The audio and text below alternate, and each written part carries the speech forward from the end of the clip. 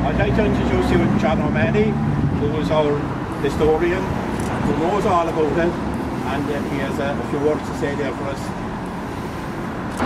And the 3rd of January 1920 is a date forever etched in the history of Carrigtwohill.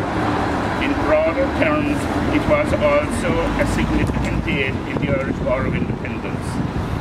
Since the general election at the end of 1918 and the formation of Dáil in January 1919, the emphasis through most of 1919 was on fundraising and international diplomacy promoting the legitimacy of an independent Irish state rather than military activity.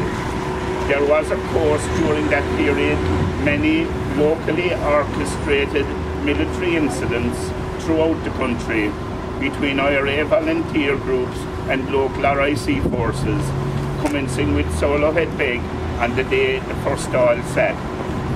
By the end of 1919, however, the IRA GHQ in Dublin was prepared to move to a more military stage in its war and to commence this gave its blessing for three RIC barracks in Cork, number one brigade district to be captured. These attacks were organised to occur simultaneously on Saturday night, the 3rd of January 1920. The attack on Ballygarvan never materialised and the Kilmurry attack was repelled after a spirited battle. The Carrigtwohill attack was, however, successful and thus the RIC station became the first in Ireland to be permanently decommissioned with the expressed approval of GHQ during the War of Independence. In the circumstances, the events we commemorate here today can be legitimately viewed as the beginning of the military phase of the War of Independence, as hundreds of RIC barracks all around Ireland met a similar fate in the weeks and months that followed.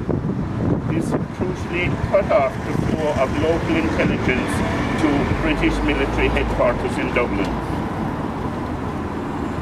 The Carrigtwohill attack was carried out by the Cobh and Midleton companies led by Mick Leahy and Diarmuid Hurley respectively, supported by Knockraha company led by Martin Corry. The local company was not involved to avoid the risk of the plans being leaked to the authorities. It is only to be expected that the local landscape will have changed over the ensuing hundred years. The barrack, which was situated across the road and to the east at the, at the corner of Main Street and Well Lane was never again used and eventually demolished. Ironically, the house which stood at the eastern end, uh, at the eastern side of the of the Well Lane entrance, known to locals as Jamie Wright's house, collapsed only in the last six months. Thankfully, however, a key component of the original battle site remains intact today as it was 100 years ago.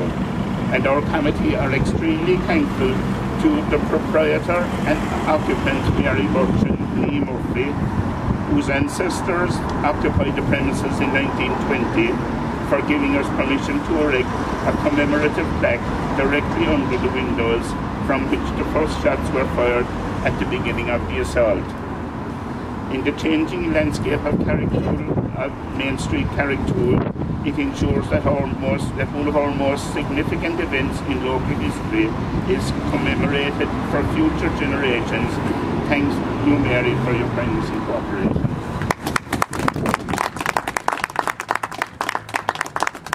I will now And we'll ask the Lord Mayor and County Lord Mayor, uh, Mary Linehan Foley, uh, to do the unveiling and maybe like to uh, say uh, a few more views as well. Yes. just to say um, thank you very much um, for the invite tonight, fellow councillors. Nice to see you here as well. And as Anthony mentioned, um, and this filling me in coming up about 100 years ago and the struggles that they went through, and I suppose similar to them, we've our own struggles today.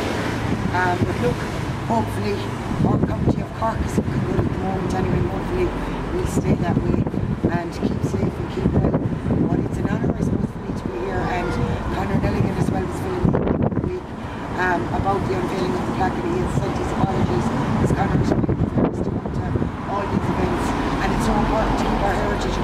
alive. So I commend everybody involved in getting this back. Um, and Cork County Council are always willing and there to help with fundings and stuff like that. So I thank them as well. But as, mentioned, as I mentioned before, it's great for me to be here this evening. Um, I suppose because it's East Cork, East Cork, so I consider it my home, and South Cork especially. So um, we'll get on with the unveiling and thank you guys for having me here. And well done to everybody. Very, very important to be keeping our history alive. So thank you.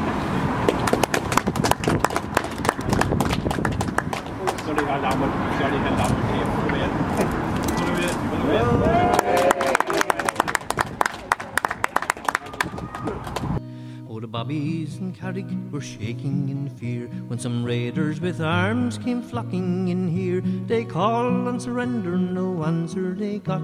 Big arses, their leader will fire on the spot. Cheer up, jolly fellows, don't die in despair, for the rebels in Carrig the devils may care. Now the firing it started at Kate Murphy's shop, where Lizzie and Molly were ready to drop, and Kate in the kitchen didn't know what to do. She ran out in the yard without stocking her shoe. She ran over the field, they'd Donny Hartnett to call, for the honour of God, take me over the wall. From that to Dick Flynn, and she knocked on the door, and there she remained till a quarter to four.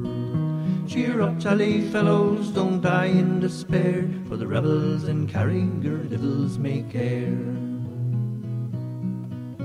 The first came along that the raiders had seen Johnny Power from the rock coming from Tullagreen. When asked by the raiders what he was doing there, he was courting the lassie with the dark curly hair. The raider he laughed with a wink in his eye. I pity your case, my poor Irish boy. It's no night for courting nor neither for stroll. So now, if you please, put your nose to the pole. Cheer up, jolly fellows, don't die in despair, for the rebels in Carrig the devils may care. Now Johnny at Terry's, he got the great fright. He was woke from his sleep in the middle of the night. He called up to Miss Joe, and it was his delight, for he slept on her sofa for the rest of the night. Now patching the waxer, he went to the bog, and a drain he fell in because of the fog. A raider came on him with rifle in hand, saying, Waxer, we'll shoot you if you're not going to stand. Look here, mate, says Paddy, tis I'm in a fix. I came down to the bog for a handful of sticks. If you're out for shooting by the light of the moon, the first shot you fire, let it be at Muldoon. Cheer up, jolly fellows, don't die in despair, for the rebels of Carrig or the devils may care. Now the firing had started and lasted four hours. Some bullets and bombs were gone in great showers. Next came an explosion, angelic night and fuse, and tried to resist, but they found it no use. When the whole it was blown, it made a great space where the peelers and raiders they stood face to face. The bobbies surrendered, they had to give in. They were tied up and handcuffed by some disguised men. Cheer up, jolly fellows, don't die in despair, for the rebels in Carrig their devils may care.